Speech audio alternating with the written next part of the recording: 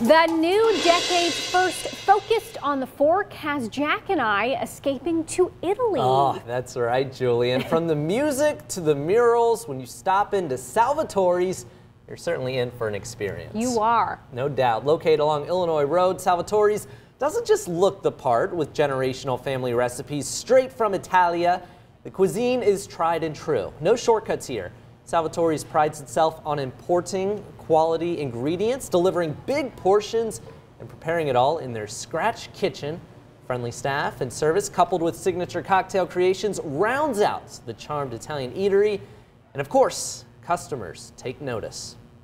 Um, I can get anything gluten free, which is awesome for me because I have food allergies and it's delicious. Whenever I'm working on this side of town, I always try to make it a point to come in here. Best food around, and you'll enjoy the people here, the waiters, waitresses, owners, all great.